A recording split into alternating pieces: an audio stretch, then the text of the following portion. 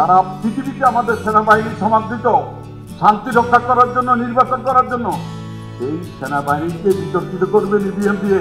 আমি অনুরোধ করব, বাংলাদেশের আনসার পুলিশ থেকে BGB BGFI NSI SB DB, army, navy, airport, আপনারা সবাই দেশের সন্তান। আমরা আপনাদের ভাই, আপনাদের বন্ধু। নির্বাচনের পরে আপনারা দেশে থাকবেন। আপনারা জানিস জাতির কাছে বিতর্কিত হবেন না। এই সরকার নির্বাচন কমিশন আপনাদেরকে বিতর্ক করার চাচ্ছে আমি প্রশাসনকে বলব করেছে যে এই পাপের ভার সহ্য হবে। আপনি বিকল্প বলেন আর তোমরা যদি যেত, তাহলে তোমরা দশ লাখ লোক রায় করতো নাহলে তোমরা ক্ষমতায় থাকতে পারবে না। সর্বাংশে একটা অবৈধ সরকার যখন দখলদার সরকার আর একবার ক্ষমতা দখল করবার সব চেষ্টা করছে।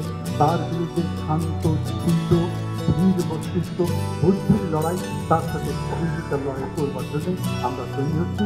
আমি মনে করি আজকে এই এক্সারসাইজটা যে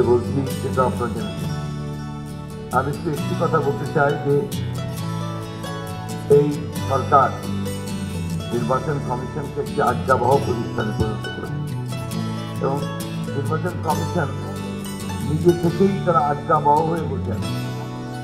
এই জন্যে আজকে কোনো কথাই, জনগণের কোনো কথাই তাদের কানে যাচ্ছে না। যে কথাগুলো ইতিমধ্যে বলা হয়েছে এখানে, যে আমরা ইতিমধ্যে জেনে গেছি যে এই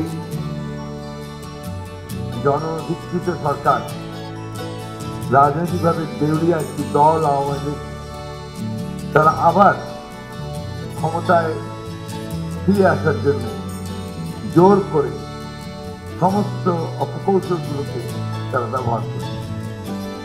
জনগণের উপর যখন কোনো আস্থা থাকে না, তখনই এই ধরনের কৌশল নেওয়া হয়।